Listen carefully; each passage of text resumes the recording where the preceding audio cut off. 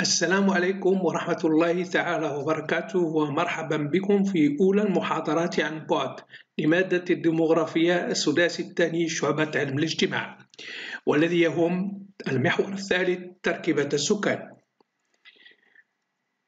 المحور الثالث يأتي بعد محورين أساسيين قدمنا لهم فيهم المفاهيم الأساسية للديموغرافيا والأسس الفكرية للنظرية الديموغرافية ونأتي اليوم لتركيبة السكان. تركيبة السكان التي تنقسم إلى صنفين أساسيين وهو التركيبة حسب النوع أو الجنس والتركيبة حسب السن أو العمر.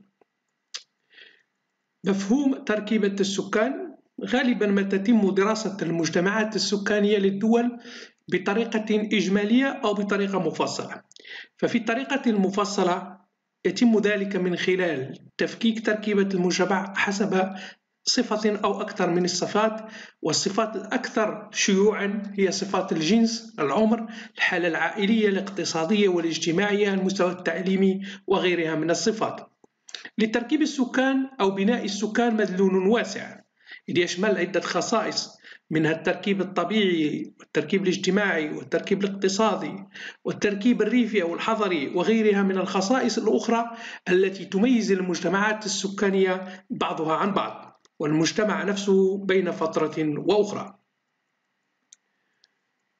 ويعتبر البناء الطبيعي من أهم العوامل المؤثرة في الظواهر الديموغرافية والاقتصادية إذ أن توزيع السكان حسب فئات العمر أو الجنس يحدد نموهم فهو يؤثر من ناحية على الولادات والوفيات وبالتالي على الخصوبة والزيادة الطبيعية ومن ناحية أخرى يؤثر على حركة السكان الداخلية وبالتالي على توزيع السكان ونموهم.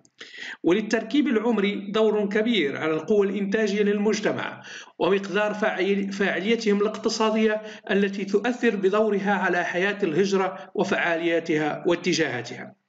لذلك كله سنركز في هذه الدراسة عن التركيب النوعي والتركيب العمري فقط لأن كما رأينا لهذين العاملين يعني النوع والعمر أهمية كبرى إذ يتم استعمالها في الكثير من الدراسات الاجتماعية والاقتصادية عند الاهتمام بالحالة الديمغرافية للأشخاص المبحوثين.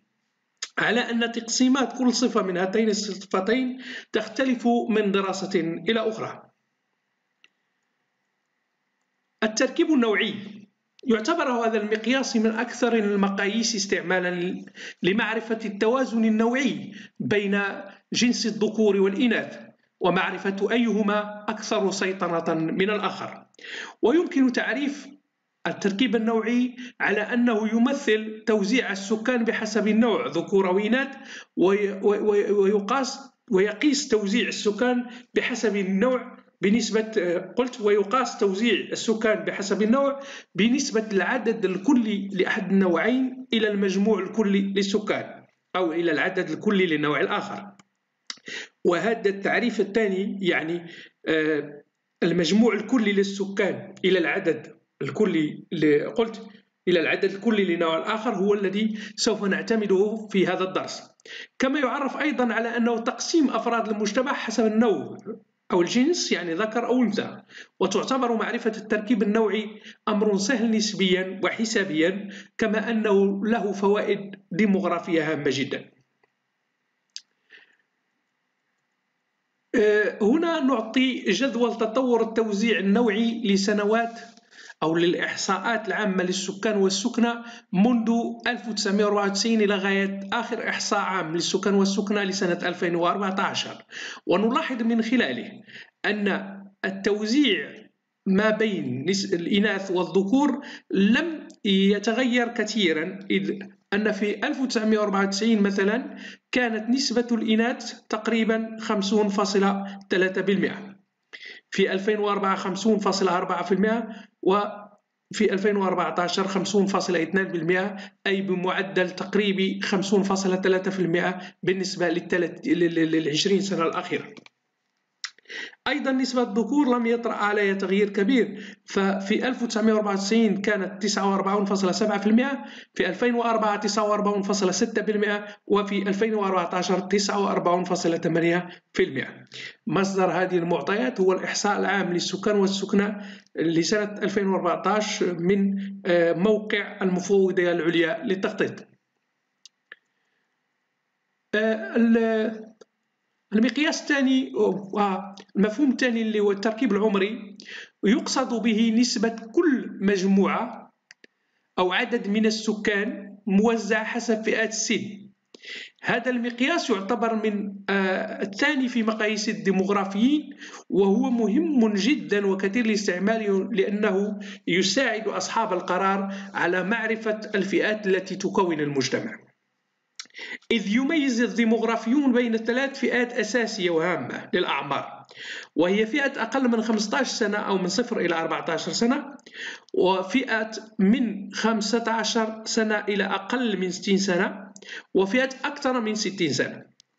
وهي تقابل الفئات العمرية الثلاث تقابل آه، الفئة الأولى هي فترة التكوين والإعداد يعني الأشخاص أقل من 15 سنة.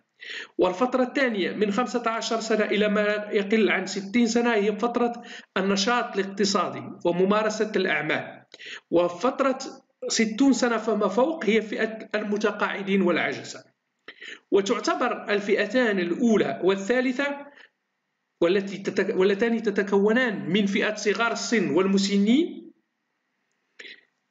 فئات تعتمد في معاشها على الفئة الثانية باعتبارها الفئة العاملة والقادرة على الإنتاج. نلاحظ هنا أيضا آه، تطور التركيب العمري من خلال آه، الفترات آه، يعني في الإحصاءات الثلاث الأخيرة 1994 2004 و2014 ودائما المصدر هو المفوضة العليا للتخطيط. تجدون أسفله رابط موقع. المفوضية قلت نلاحظ من خلال الجدول أيضا بأن الفئات العمرية فئة الفئة من صفر إلى 14 سنة أو أقل من 15 سنة نسبتها في التعداد الأول 44.4% في التعداد الثاني 37% وفي التعداد الثالث 28.2% ويعزى هذا التطور إن أردتم إلى سياسات الدولة في إطار آه، يعني التخطيط و آه، يعني تحديد النسل وكل البرامج التي آه، وفرتها الدولة للتوعية ولتوعية الأمهات بخطورة الانفجار الديموغرافي وبالتالي كان تدخل الدولة في المساعدة في صحة الأم والطفل وهو ما ساعد في في في إذا أردتم في النقص النسبي في هذا في هذا في هذه النسبات الفئة العمرية من 0 إلى 14 سنة.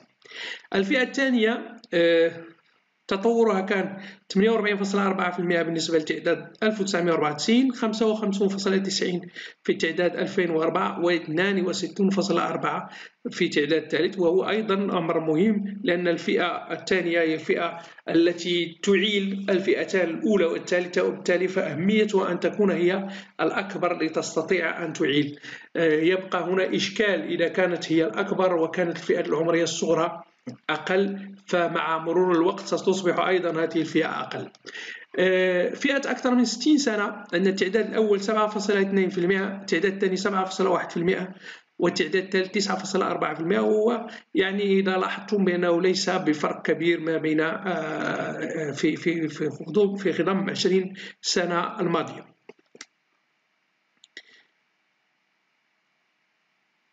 قلت يلاحظ من خلال الجدول أن الفئة الأولى تتناقص نسبتها من تعداد إلى آخر وهذا رغم ارتفاع قيمها المطلقة ويعود هذا أساسا إلى أنها تغذي الفئة الثانية التي تظهر اتجاها عاما حيث تزداد من تعداد لآخر أما الفئة الثالثة فرغم ارتفاع قيمها المطلقة إلا أن نسبها بقيت تقريبا ثابتة على مر تعدادات الثلاث.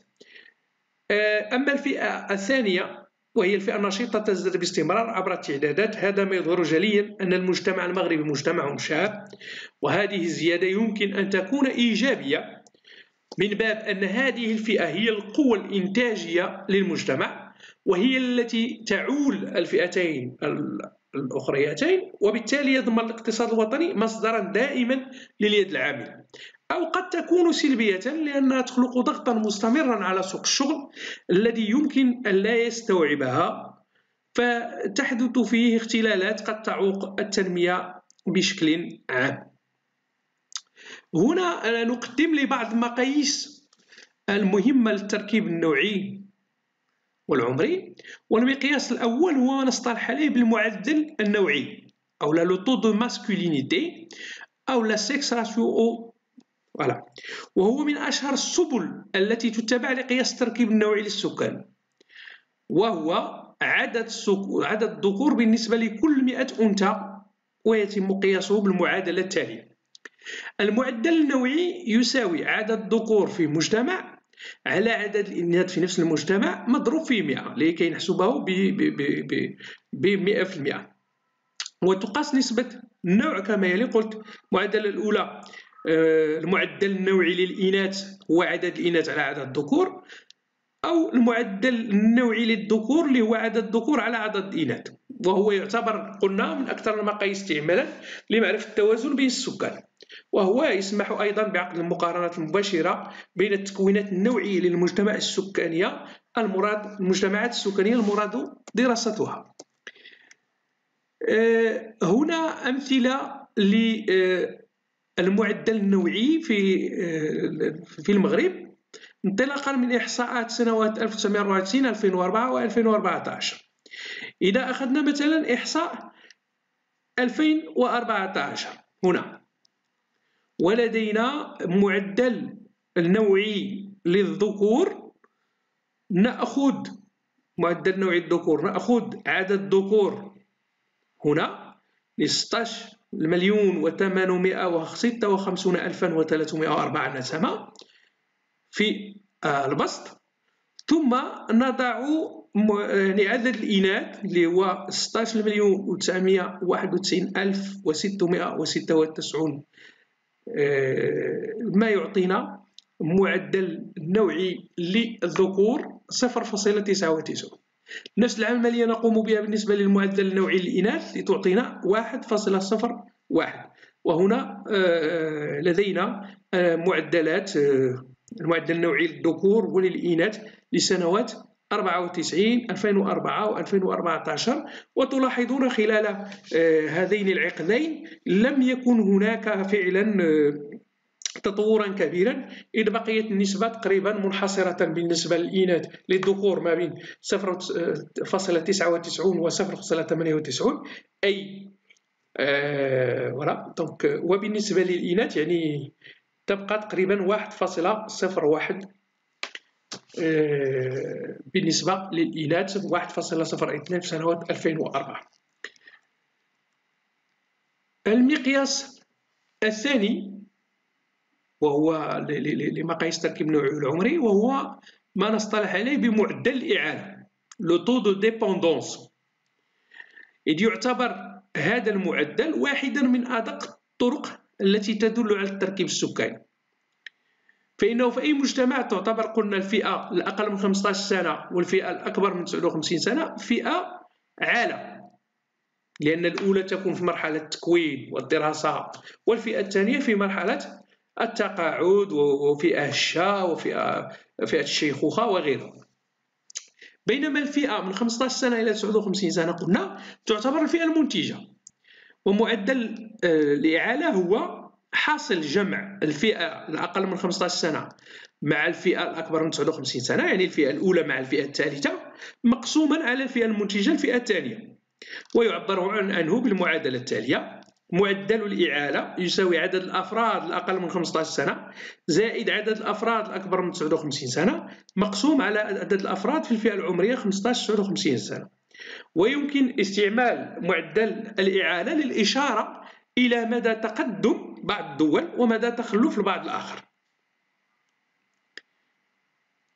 آه، هنا آه، بعض الأمثلة. إذا أخذنا مثلا هذه السنوات آه، سنوات 1994 2004 و 2014 نلاحظ أن معدل الإعالة أيضا بقي تقريبا بنفس المعدل 1.06 في 94 1.06 في 2004 1.06 في 2014 ما يعني أن هناك 10.06 معال مقابل كل 10 أشخاص الذين هم في سن العمل وهي يعني تقريبا متوازنة متوازنة نسبيا أن عدد أشخاص في سن العمل عشرة أشخاص يمكن أن يعينوا عشرة أشخاص هم في فترة التكوين أو في فترة الشيخوخة والتقاعد.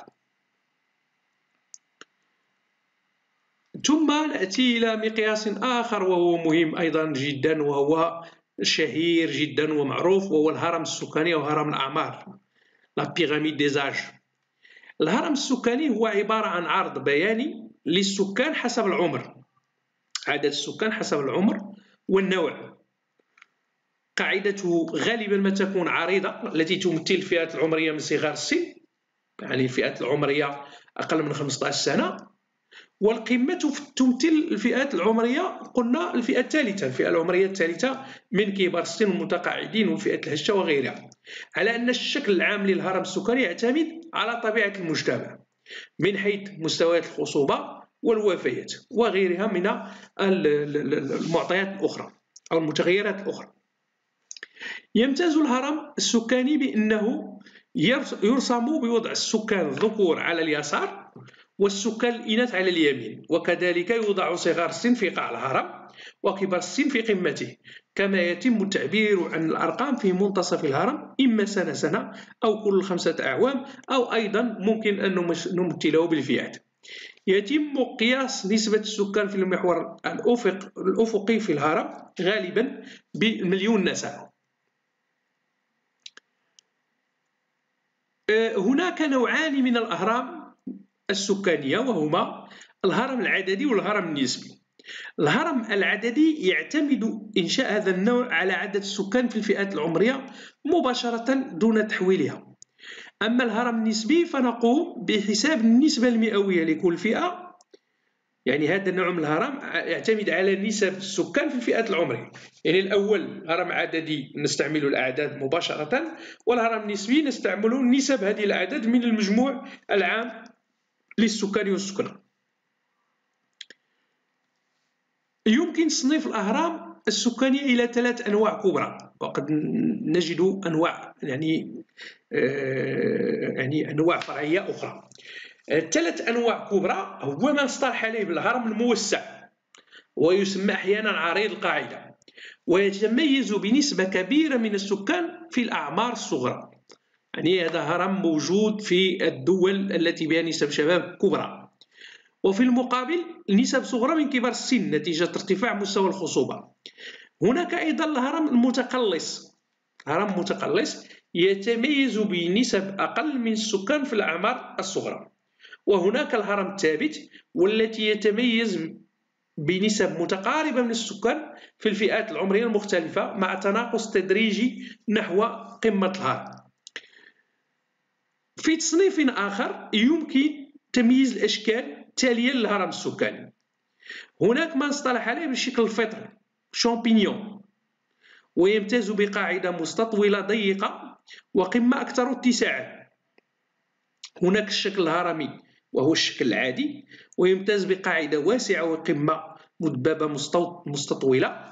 هناك شكل الفلفلة يعني متوازن ما بين الأعمار الصغرى و يعني في في القمة يكون أقل اتساعا. ويمتاز بقاعدة مدببة تزداد اتساعا كلما ارتفعنا نحو القمة. شكل باغود. شكل باغود وهو عبارة عن شكل معابد معابد صينية معابد بوذية صينية.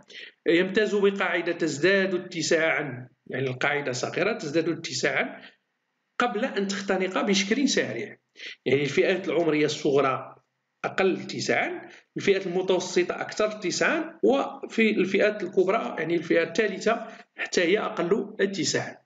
هناك شكل الساعة الرملية لو يمتاز بقاعدة تختنق في الوسط ثم تعاود الاتساع وهناك شكل كرة القدم الأمريكية البالون دريغبي حيث يمتاز بقاعدة ضيقة مختنقة تزداد في الوسط ثم تعود إلى الاختناق في القمة.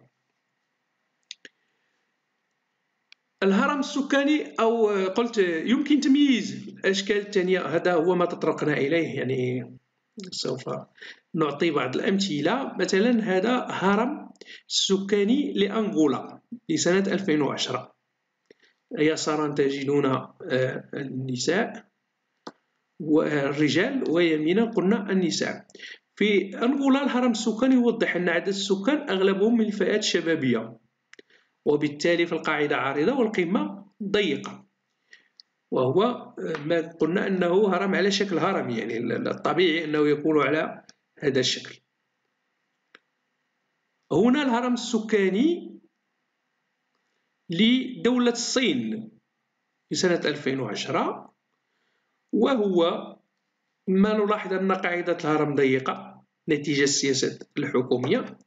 وسط الهرم يعني الفئة المنتجة هي كبرى وفي في في القمة هناك آه، فئة يعني قليلة وضيقة يعني الهرم ضيق على مستوى القمة. هنا آه، الولايات المتحدة الأمريكية يظهر أن السياسة السكانية نتج عنها استقرار يعني كنلاحظوا الفئات كلها تقريبا مستقرة إلا في آه، قمة الهرم حيث نجد أنها تعاود آه، يعني تضيق في المستوى قمة الهرم وهو الاتجاه الصحيح في السياسات السكانية نسبيا. وهنا نأتي إلى الهرم السكاني بالنسبة للمغرب حسب آخر معطيات الإحصاء العام للسكان والسكنة لسنة 2014 ونلاحظ أيضا القاعدة نسبيا كبيرة تعاود يعني يعني تقريبا يبقى الشكل شكل هرمي وجيد. donc كان هذا ما ما ما في ما في الجعبة بالنسبة لأولى محاضرات عن بعد بالنسبة لمحور بالنسبة لدرس الديموغرافيا. في المحور الثالث تركيبة السكان. أشكركم على حسن انتباهكم ونضرب لكم موعدا مع المحاضرة الثانية عن بعد في القريب العاجل إن شاء الله. شكرا لكم وإلى اللقاء.